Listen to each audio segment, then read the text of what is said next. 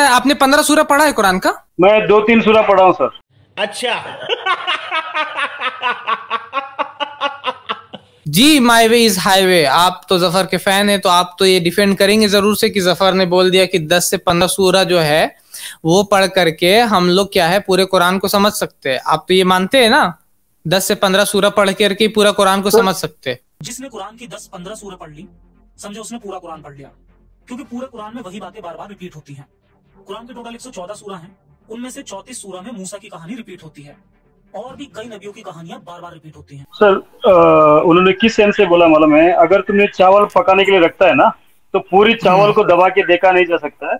एक दो भी दाना अगर तुम दबा के देख लेना पता चलता है पका या नहीं पका। तो इसी तरह चावल के अंदर चावल चावल है ना? तो जो चावल नहीं है ये कुरान है भाई ये चावल है। अगर इंसान का हाथ दबा करके चेक करने लगो इंसान अभी मैं एग्जांपल दे रहा हूँ अगर इंसान का पूरा बॉडी चेक कर लो इंसान का पूरा नहीं तुमने एग्जांपल हाँ। दिया माय वे मेरा भी ये बनता फ़र्ज़ बनता कि मैं भी एग्जांपल दू। इंसान का पूरा बॉडी चेक कर लिया सही है सही है सही है बस हार्ट खराब है खराब हो गया। समझ रहे तो कोई एग्ज़ाम्पल इस तरीके से सेट नहीं बनता। चावल नहीं बना रहे।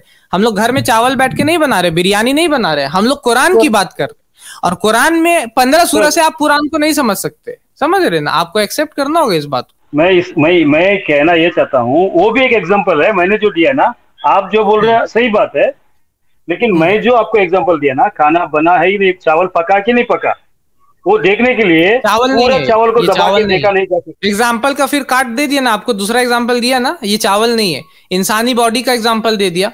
तो ये चावल फिट नहीं बैठ रहा है एग्ज़ाम्पल ये कुरान है समझ रहे मेरे भाई?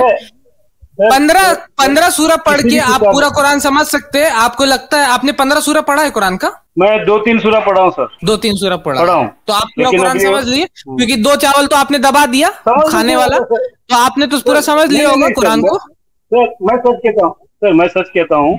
मैं तो ट्रांसलेशन पढ़ा हूँ वो हिंदी का है मेरे पास। ओके? हम्म। लेकिन मेरे को पता भी नहीं चल रहा है कौन किसे क्या बोल रहा है किसको हिदायत दिया जा रहा है कौन सा सूरा कौन सा सूरा कौन सा? सूरा कौन सा सूरा मेरा भाई? कौन सा सूरा पढ़ रहे हो? मैंने स्टार्टिंग खोल के पढ़ने शुरू किया हूँ। हाँ तो शुरू पढ़ा। चलो पहला पेज पढ़ते हैं कुरान का। पहला पेज पढ़ते हैं। क्या? हाँ शुरू शुरू करते हैं। आप खोलो आप खोलो। मैं खोलने की ज़रूरत नहीं मुझे याद है। पहला पेज खोलते हैं। पहला पेज खोलते हैं। मुझे याद है। सर, हम्म। सर, मैं दुकान पे मेरा कुरान है। ओके? मैं सर्विस सेंटर है ना उधर हूँ। लेकिन अभी घर अच्छा मैं। पढ़ हाँ, मैं पढ़ रहा हूँ मैं पढ़ रहा हूँ पहला पे- मैंने अभी पढ़ा भी स्ट्रीम में अगर पहले से पहले से मौजूद रहते तो मैंने पढ़ा भी है। उसमें लिखा हुआ सब तारीफ़ अल्लाह के लिए जो तमाम जहान का रब है। बड़ा मेहरबान नहायत रहम करने वाला है। बदले के दिन का मालिक सर, है तो ये क्या समझ में नहीं आया इसमें? चलो बताओ। मुझे इतने में बताओ कि क्या नहीं समझ ये जो कुरान के अंदर आयतें है जो अल्फाज है जितने भी हाँ, शब्द है अल्लाह का कलाम है थर्ड पर्सन वाला क्वेश्चन में जा रहे हैं। समझ रहे हैं अल्लाह ने हाँ। बोला है लेकिन ये कुरान है कुरान का मतलब हाँ। पता है भाई कुरान का मतलब पढ़ा पता है लिटरल मीनिंग पता है? कुरान का लिटरल मीनिंग क्या है? मैं मुझे लगता है सर मुझे लगता है पढ़ो। पढ़ने वाली किताब। मैंने सुना है। तो ज़ाहिर सी बात है क्योंकि पढ़ने हाँ। वाली ये किताब है तो अल्लाह ताला ने इसको इस तरीके से नाजिल किया है ताकि जब इंसान उसको पढ़े तो उसको समझ में आए कि ये अल्लाह की तारीफ़ हो रही ना कि मेरी तारीफ़ हो रही। अगर वहाँ अल्लाह ताला ऐसे नाजिल करते कि सब तारीफ़ मेरे लिए है, जो मैं रब्बुल आलमीन हूँ तो मैं जब उसको पढ़ूँगा तो मुझे लगेगा मैं अपने बारे में बात कर रहा हूँ। समझ में आ रहा है? और ये हर राइटर करता है इंक्लूडिंग सच वाला, जो आपके टीचर है, वो भी करते हैं। उनके जाके अबाउट सेक्शन जाके पढ़िए वहाँ पर उन्होंने इसी तो तरीके से थर्ड मतलब- पर्सन में बात किया। क्या वो अबाउट सेक्शन थर्ड वाला सच वाला लिख तो रहा है झूठ मतलब वाला लिख रहा है या कोई और लिख रहा है? सर इसका मतलब आप ये बोलना चाहते हो कुरान के अंदर फ़र्स्ट पर्सन नहीं आना चाहिए थर्ड पर्सन ही आना चाहिए। अभी जो शुरुआत का ऐसा बोला मैंने ये क्लेम किया ऐसा मैंने ये क्लेम किया मैंने ये क्लेम किया अभी ऐसा। मैंने बोला की क्योंकि कुरान इस तरीके से नाजिल हुआ कुरान पढ़ने वाली किताब इसलिए थर्ड पर्सन में ज़्यादा आया है लेकिन फ़र्स्ट पर्सन में भी आता है सेकेंड पर्सन कुरान में आपके झूठ वाले ने बोला कि कुरान में कहीं भी थर्ड पर्सन में है पूरा। जी टीवी पे बैठ के बोला उन्होंने। जी न्यूज़ पे जी टीवी जी टीवी पे तो क्योंकि सास भी कभी बहुत ही आता है। तो जी न्यूज़ पे आके बोला उन्होंने कि थर्ड पर्सन में है पूरा कुरान में। पहला सूरा, जो सूरा मैं पढ़ रहा हूँ ना, उसी में ईया का नाबुदू व ईया का नस्तईन है। हम तेरी ही बात करते सेकंड पर्सन है। पहले ही सूरा में बोल्ड हो जाते हैं वो, झूठ वाला। समझ रहे?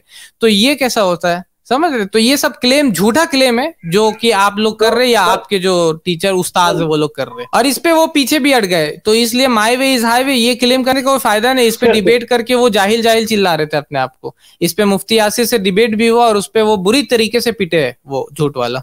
आपने बोला ना ज़फ़र हेरिटिक को मैं सपोर्ट करता हूँ इसीलिए आपने बीच में मेरा नाम ले लिया। क्योंकि हाईवे जैसा हम्म।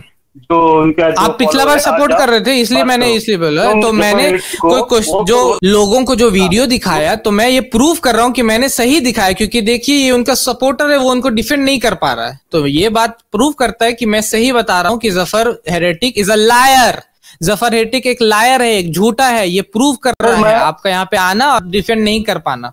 हमारे चैनल आई इंडिया को सब्सक्राइब करें और बेल बटन पर क्लिक करें ताकि हमारा सारा वीडियो आप तक ज़रूर पहुँचे।